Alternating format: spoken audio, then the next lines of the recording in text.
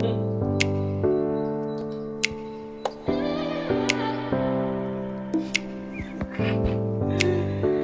sweet peas. Happy new moon. If you're new to this channel, my name is Abby. Hello there. Oh, I want to squish your face. what I do on this channel is every new moon, every full moon, I do readings from my Cycle of the Moon tarot journal that I designed myself just to share and give back to the community. I talk all things tarot, I talk all things psycho-spiritual, I talk all things self-development and moving forward, progressing forward, energetically pushing yourself to do more than what you are doing just at this moment. So if this is your bag, please go ahead and like and subscribe and I will do my best to continue to sing and dance for you, darling, so that this is worth your while, worth your time, worth your input, and I look forward to conversing with you soon.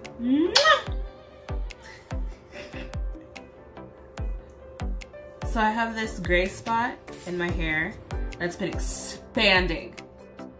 I call it my little conduit. I think the ethos is downloading directly into my head. before we hop in into this reading, um, I wanted to talk a little bit about where the spirit of this reading is is coming from. Um, a couple days back, like the day prior to the new moon, I did a live on Instagram just to kind of visit because I just came back from taking a little time off because I wasn't feeling well. I'd caught a bit of a head cold and wasn't quite 100%. And so I took some time away um, and I came back and I wanted to chat with the community and I wanted to chat with everybody. And one of the topics that we covered or that we chatted about amongst ourselves was self-love. And so this new moon, I selected a reading um, that I've titled Relationship with Myself. So my game plan is to read this collectively, put this reading in a collective format. However, you can totally pull the same cards for yourself and maybe read it individually for yourself. So this doesn't have to be the only way in which this reading can be useful for you, but you can totally pull the question, slow it down, jot it down, whatever you need to do, and and read for yourself. See what your relationship with yourself currently looks like, and maybe even get some intuition, some wisdom about how you can improve it moving forward. Something else that you can do, I do read professionally myself. You can also reach out and say, hey, Abby, can you do that same reading for me? And we will set up a time. so not a problem at all, you all. So let's go ahead and move you above head so you can see my table space and we'll get started.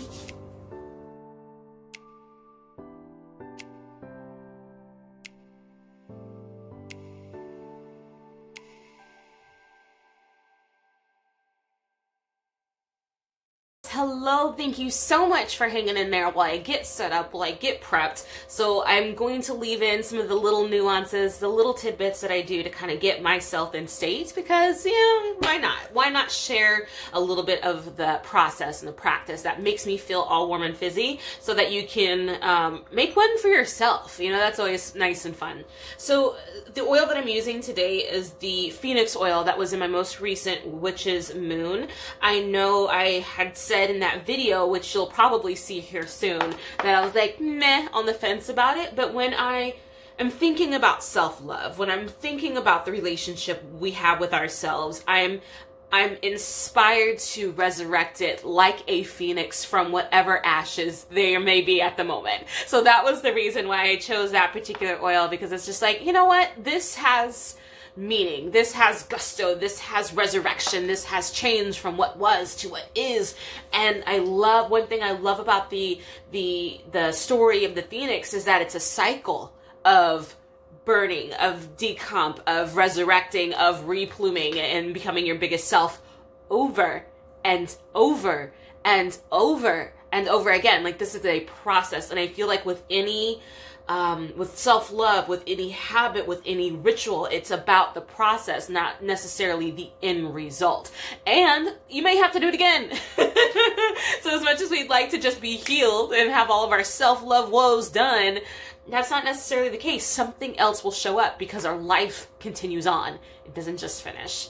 So, just to go ahead and get started, this is coming out of the Cycle of the Moon Tarot Journal.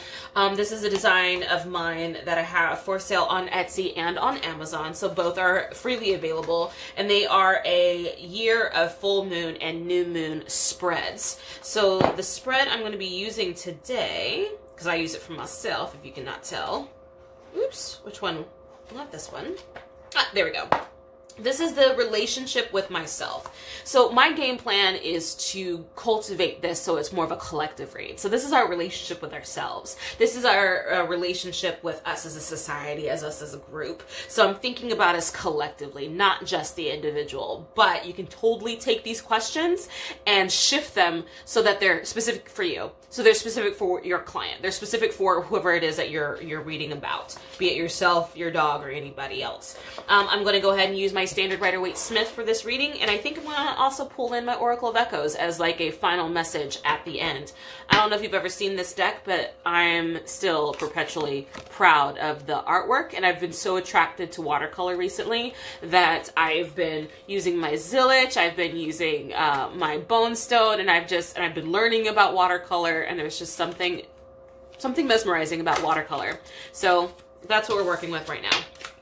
Alrighty.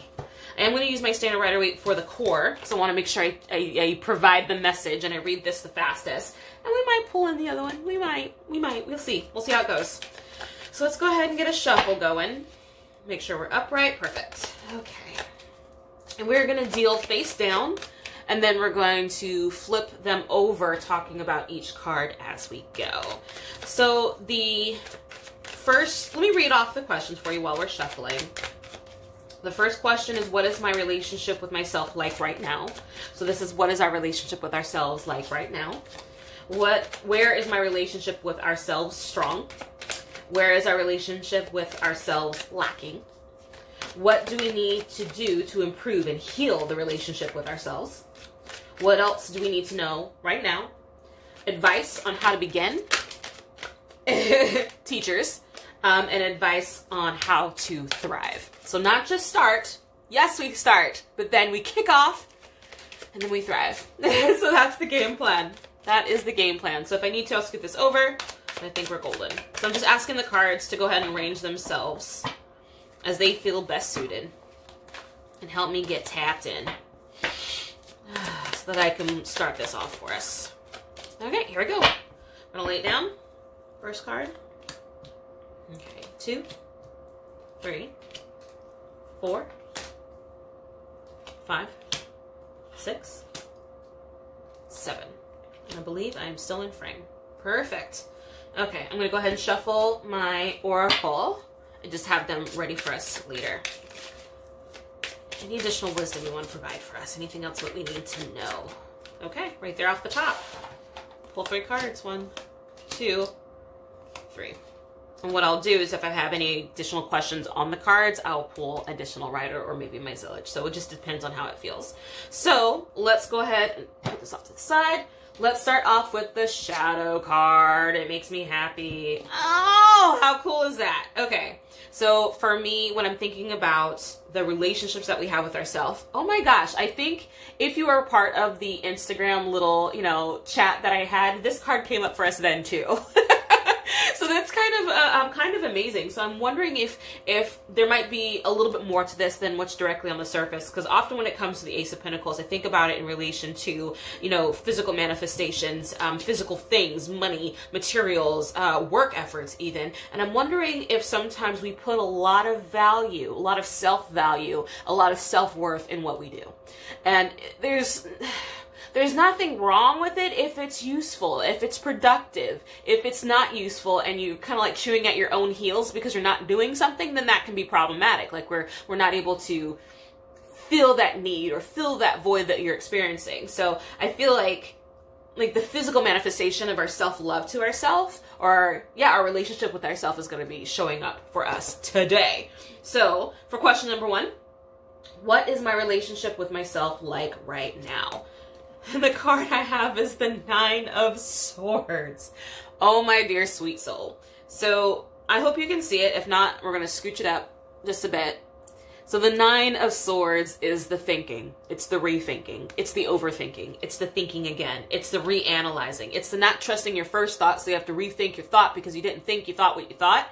So you're coming back to rethink the thought that you thought you thought and all you do is shove yourself into a circle, a repeat pattern of behavior that you start to spin and mull around in circles, essentially getting nothing done.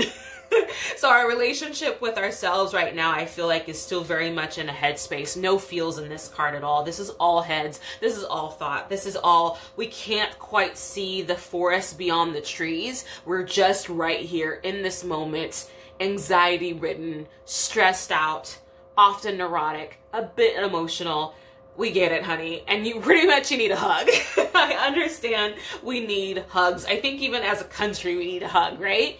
So if I could give everybody a hug right now, just if you're feeling any sort of way, think right now that Abby is giving you the biggest bear hug you've ever needed. Okay, just from me to you, sweet souls, and let me know that you gave it to yourself. Like, go ahead and type that into the comments. I gave myself a hug. Please do that because I want you to have a hug from me. So for question number two is where is our relationship with ourselves strong? Where is our relationship with ourselves strong? That's interesting. I like that in a way. So I have the Seven of Cups. The Seven of Cups to me talks about options, talks about opportunities, talks about, um, oh gosh, endeavors. So I'm feeling like a touch of decision fatigue. We've created so many options and opportunities for us, now we don't know what to choose. I guess that's the hazards of being a consumerism society. We consume, we grasp, we look, we want options, we want info, we want stuff, we want stuff, and then we don't know what to pick. We want all these things, but then we don't know what to pick. So that is a literal card for me is about decision fatigue. When you're sitting in this moment, oh my God, I have these things that I can do. Now what? And so we're looking for answers. We're seeking answers because we're not trusting ourselves. We're not trusting that we know what is best for us. So we put all of our faith into other people, into outside resources to tell us, to tell us what we need. What do we need to do? And then we wonder why we're not fulfilled. we wonder why we're not fulfilled. So I had to just beat that out for a second. Where is my relationship with myself, with ourselves lacking? Where is it lacking? Hermit card. And I had to take a deep breath for that because that to me rang so true. The Hermit card is about quiet introspection, introspection, introspection. Y'all can talk shit about me, please. that quiet turn in, that self reflective, self reflective, introspective, um, self critical, we lack self self the turning into the self the looking inward at the self. We lack the ability or maybe the skills or even the wisdom or the know-how to look internally. So all this external influence we forget how to look look to look internally. And i feel like that really wonks us up a bit especially as a society especially as a collective. I feel like we deal with a gosh a mass society of not knowing what we want. And so all of these meditation retreats and all of these, um, again, myself included, divination practitioners, all of these spiritual counselors, all of these therapies, all of this um, consultants, all of these things are in place because we're looking externally for what can be found internally. Nothing, nothing can be fixed externally that does not happen internally first mic drop. All right, dear soul. So let's continue. What do we need to do to improve and heal the relationship with ourselves? So, what do we need to do to improve and heal the relationship that we have with ourselves? Oh my goodness. So, the Five of Pentacles for me, I think I might pull additional cards on this, but the Five of Pentacles for me is often about sometimes it's deprivation Sometimes it's being a little bit left in the cold. I feel like we have a shit ton of privilege and we don't even know it. We don't even appreciate it. We, what is it that I heard, um, not even recently, this has been like something that's been in my head for a long time. The majority of the planet, so this whole big ball, you know, going around the sun, lives on less than, I think it was like less than $2 a day, less than a dollar a day, something like, something less than $3, definitely less than $3 a day less than $3 a day. And I can guarantee you, myself included, we probably peed out $3 in something, you know, 20 minutes ago. is it a subscription? Is it a game? Is it um, a vice? Is it, uh, you know, that next meal that we didn't really need, but we wanted a snack, so we snatched something? We have so much privilege. We have so much opportunity. We have so much. We have lost perspective. We have lost perspective as a society, my suggestion to help us, what we need to do to heal the relationship that we have with ourselves, is walk a mile in someone else's shoes. is is where I'm going to go straight with that. Walk a mile in someone else's shoes just so that you can understand how blessed how blessed you are to be watching this video, how blessed you are to be breathing right now, how blessed you are to even go through decision fatigue, that you have so many options that you don't know what option to make, how much of a blessing that actually is. Sometimes it's just a bit of perspective, and maybe that's volunteering at your local, you know, shelter, your local, um, oh god, I, the first thought was women's shelter, uh, women's, uh, like domestic abuse, uh, abuse, excuse me, domestic abuse shelters, volunteering there, um, volunteering any homeless uh, shelter or maybe even enda- endangered. Maybe not endangered, but troubled youth center. Like, look at other people who don't have the things that you have. If you can't do that and you want to just stick strictly to YouTube, do a series of videos about um, other countries, uh, maybe about some um, historical components. I was just watching something about the Spanish flu yesterday. Um, look at uh, re up your historical education around the Holocaust. Um, re up your education um, about apartheid. Uh, oh my gosh, there's so much just to help us put things in perspective. Just to help us put things in perspective. Question number five is what else do we need to know? What else do we need to know?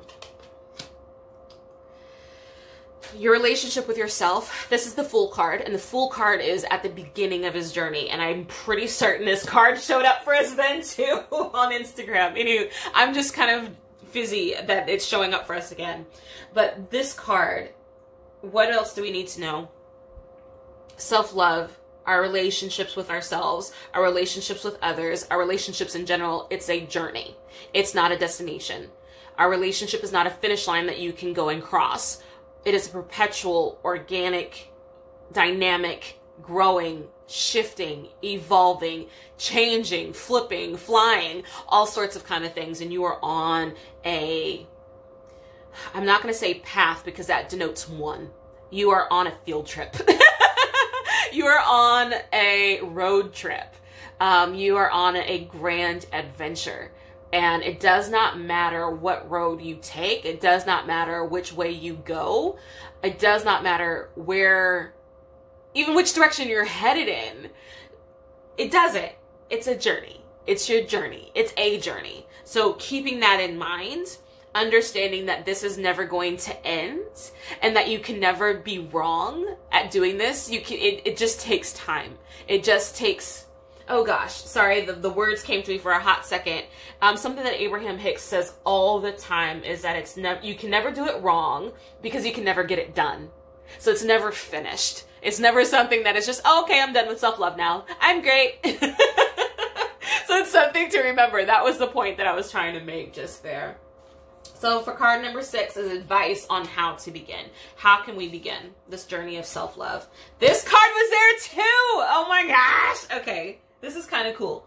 So, advice on how to begin is the Eight of Cups. And the Eight of Cups, I'm going to show it to you. This is about walking away. So this is can be abandoned successes, abandoned um, my mentor said abandon successes. I think it's leaving anything that doesn't serve us anymore, regardless of the stage of development it's in. I sometimes hear about people who have these careers that no longer suit them, no longer fits who they are, and they struggle with guilt, a lot of guilt for leaving that career because they've already invested so much honey, your sanity is worth saving. Your heart is worth saving. So, whatever it is that you feel the need to let go, to snip away, to cultivate, you know, off, go ahead and take those actions. Take those steps, take those beginning me- ah, measures, and do those methods so that you can begin to move forward. Don't allow anything to hold you back from where you want to be. Start one foot right now in the direction of where you want to go. Full stop. What do you want to do? Do you not know it? Do you not know what that is? Write it down. Journal to yourself till the cows come home to get some clarity, get some information. Come talk to me. I'll even chat with you about it.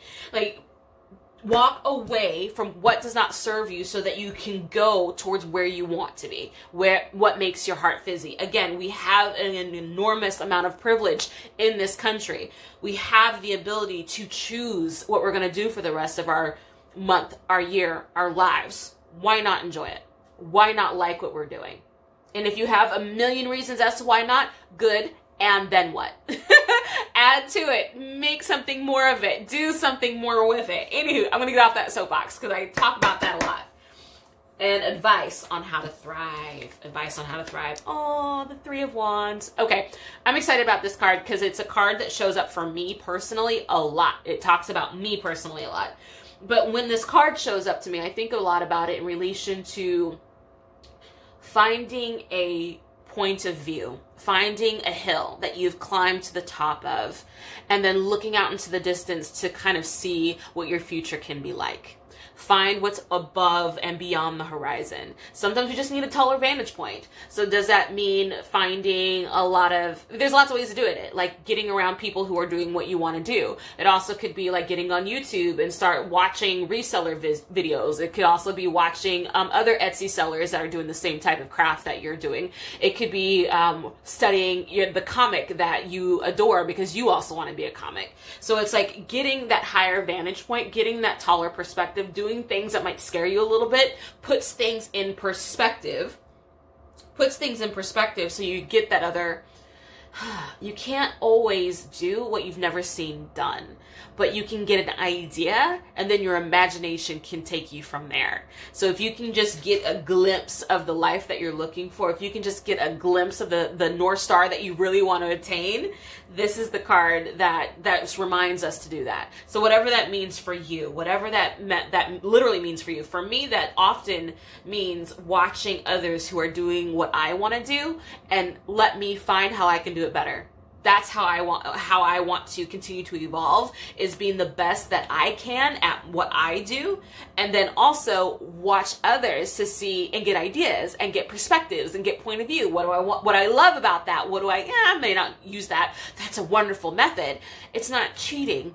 It's evolution you know? So get a vantage point find a vantage point find a mentor whatever you need to do stand on the shoulders of others so that you can continue to move forward that is what this reading is about today with the relationship with ourselves. Oh my gosh. I'm a little excited about that. Please feel free to go ahead and comment below. Tell me what you thought about that. What was your impressions? What did you gain out of this reading? And so also, because I still want to talk about these cards, ah, Oracle of Echoes. So this was like our final message, if I remember that correctly, or anything else that we needed to know.